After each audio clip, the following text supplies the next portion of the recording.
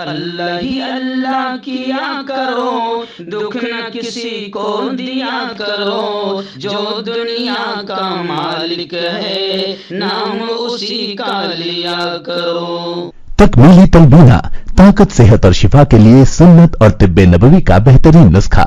नाजरीन, क्या आप भी खुशहाल मालदारों की तरह कामयाब बिज़नेस करके हज़ारों और लाखों रुपए कमाना चाहते हैं? अगर आपकी हाँ है तो आज ही से अपने इलाके में तकमीली तलबीना का आसान बिज़नेस करना शुरू करें और चंद ही महीनों में कामयाब बिजनेसमैन बनने के तरीके, बेहतरीन तजुर्बों के साथ सीखें। बिजनेसमैन बनने का ये मौका कहीं आपके भी हाथ से चला ना जाए। इसलिए अभी हमसे रब्ता करें। नौ आठ नौ ज़ीरो नौ छह तीन सात पाँच सात। Takmili food products private limited, Malegaon, India. असलकम प्राइम न्यूज़ में आज बात करते हैं कि मोदी जी, जो आजकल बौखलाए हुए हैं, तिलमिलाए हुए हैं और बिल्कुल यूँ समझिए कि वो भूल गए हैं कि मैं मुल्क का वज़ीर आज़म हूँ। और जो कुर्सी मेरे हाथ में है, जिस पर मैं बैठा हूँ, इस पर मुल्क की इज़्ज़त संभालनी मेरी अपनी ज़िम्मेदारी होती है। लेकिन नरेंद्र मोदी सब भूल गए हैं। बिल्कुल जैसे भगवा आतंकी आतंक मचाते हैं, उसी तरीके से मोदी जी अपने बयानों के आतंक से मुल्क में नफरतें फैलाने का काम कर रहे हैं। लेकिन इसमें हुआ क्या कि मोदी जी की घटिया जबान की वजह से मुल्क की भी बदनामी हो रही है पूरी दुनिया में। इसलिए चलिए, आइए, थोड़ा सा हम बात कर लेते हैं कि आज प्राइम न्यूज़ में हम बात करेंगे कि मोदी जी की तकरीरों की, उनके घटिया भाषणों की जाँच इंक्वायरी शुरू हो गई है। क्यों हो गई है? क्योंकि इलेक्शन कमीशन को कांग्रेस और दीगर अपोजिशन पार्टियों ने शिकायतें की है। और अब इलेक्शन कमीशन तो हालाँकि बेचारा इलेक्शन कमीशन ने इतना दूध नहीं पिया है कि मोदी जी के खिलाफ वो कार्रवाई करे, मगर क्या करे? अब जब पूरा मुल्क थूक रहा है तो थोड़ा सा तो कदम उठाना ज़रूरी है। तो इलेक्शन कमीशन ने बताया जा रहा है कि कदम उठाया है कि मोदी जी की तकरीरें, उनके भाषण जितने भी गटर लेवल के भाषण हैं, वो हम सब चेक करेंगे, ऐसा इलेक्शन कमीशन कह रहा है। आप जानते हैं कि मोदी जी एकदम पागलों की तरह बात कर रहे हैं। मैं इसलिए कह रहा हूँ पागलों की तरह, क्योंकि उस कुर्सी पर बैठकर ऐसी बात करना पागलों से भी घटिया हरकत है, क्योंकि वज़ीर आज़म सबका होता है। और इनका खुद का नारा था, सबका साथ, सबका विकास। इनका खुद का नारा था। लेकिन 2002 का जो इनका गंदा जहन है, वो गंदगी अभी भी जहन में मुसलमानों के खिलाफ बाकी है। वो सारा कचरा जो अंदर भरा हुआ है, वो अब लोकसभा के इलेक्शन में बौखलाहट में नज़र आने लगा है और बाहर निकलने लगा है। इसलिए अब मोदी जी वज़ीर आज़म के पद पर बैठते हुए, कुर्सी पर बैठते हुए भी बिल्कुल घटिया और गटर लेवल की जबान इस्तेमाल कर रहे हैं और मुसलमानों के खिलाफ बात कर रहे हैं। जी हाँ मुसलमानों को उन्होंने ज़्यादा बच्चों बच्चा पैदा करने का इल्ज़ाम लगाया तो लोगों ने उनको ही आईना दिखा दिया कि भैया, आपके माता पिता आप सात भाई बहन हो। जी हाँ तो फिर ज़्यादा बच्चे तो आपके माता पिता ने भी पैदा किए। अब आप ज़्यादा बच्चा पैदा करने वालों को घुसपैठिए कह रहे हैं और ज़्यादा बच्चा पैदा करने का इल्ज़ाम मुसलमानों पर लगा रहे हैं तो कांग्रेस के एक नेता ने खुलकर कह दिया कि भैया, आपके माता पिता ने भी साथ साथ पैदा करे तो क्या वो भी मुसलमान हैं? या वो भी घुसपैठी है तो खैर मोदी जी ऐसी हरकत कर देते हैं कि जिसके बाद में उनको खुद को जलील होना पड़ता है। लेकिन जिल्लत, रसवाई और गालियाँ उनके नसीब में लिखी हुई है और उनको शायद कोई फ़र्क नहीं पड़ता है, क्योंकि ये भी हिंदुस्तान में रिकॉर्ड बना है कि आज तक किसी वज़ीर आज़म को इतनी गालियाँ नहीं दी गई। जी हाँ। तो अब नरेंद्र मोदी ने मुसलमानों को भी गालियाँ दी, मुसलमानों के खिलाफ बकवास की और ऐसे कांग्रेस पर इल्ज़ाम लगाया। जी हाँ कि भाई बहनों, कांग्रेस की नज़र आपकी जायदाद, आपकी ज़मीन और सोने पर है और वो सब मुसलमानों को बांट देंगे।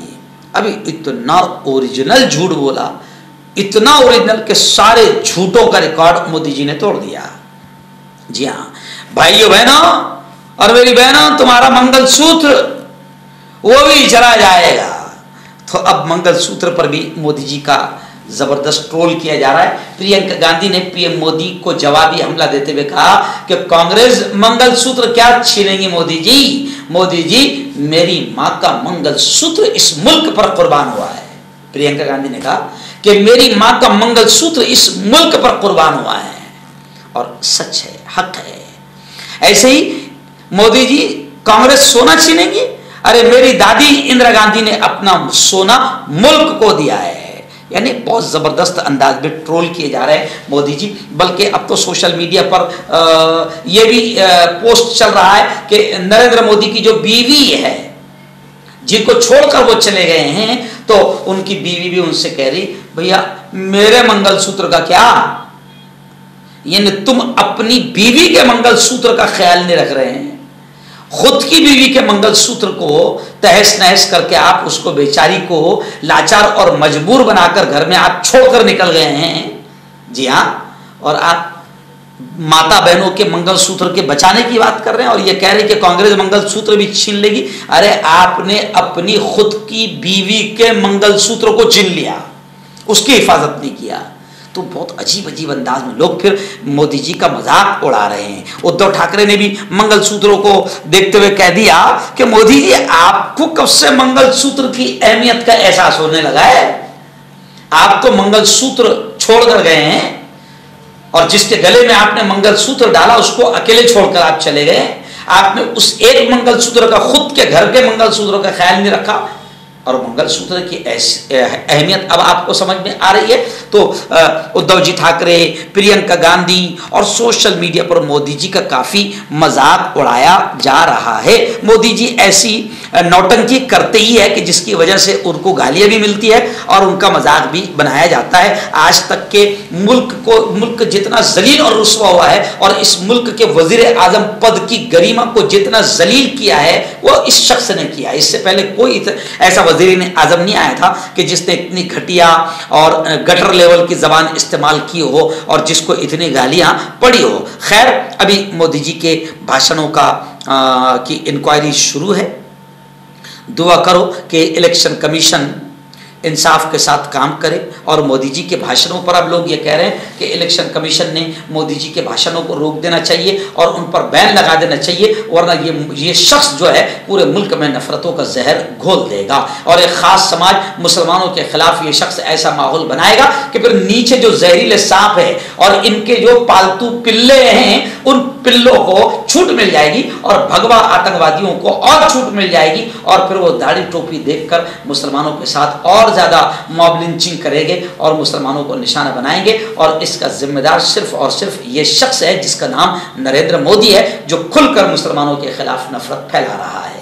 आपका personal doctor doctor Shavez sexologist किसी भी सेक्स की प्रॉब्लम को लेकर आप मुझसे कभी भी कांटेक्ट कर सकते हैं। इसके अलावा, अगर आपको शुगर है, बिना अंग्रेज़ी दवाई, बिना परहेज के आपका शुगर खत्म हो जाता है। बवासीर, खूनी हो या मस्से वाली हो, नसों का दर्द, जोड़ों का दर्द, गठिया भाई, अभी कॉन्टैक्ट मर्दाना ताकत हासिल करें, बहत्तर घंटों के अंदर वो भी जड़ी बूटियों द्वारा हकीम याकूब खां से कांटेक्ट करें, जो कि पिछहत्तर सालों से हिकमत कर रहे हैं। इसके अलावा जोड़ों में दर्द, गुर्दों में पथरी, शुगर, खुजली लिक्योरिया का गारंटी से इलाज किया जाता है। अभी कॉन्टैक्ट हर्बल सुपर लेकर आया सम्राट गोल्ड किट, जो कि मायूस शादीशुदा मर्दों के लिए है। इनको प्योर जड़ी बूटी से बनाया गया है। इससे आपकी टाइमिंग बढ़ती है, जोश और ख्वाहिश में इजाफा होता है नसों की कमज़ोरी दूर होती है। अगर ये आप हमसे लेना चाहते हैं देश या विदेश में कहीं भी तो हमारे दिए हुए इसके नंबर पर कॉन्टेक्ट करें।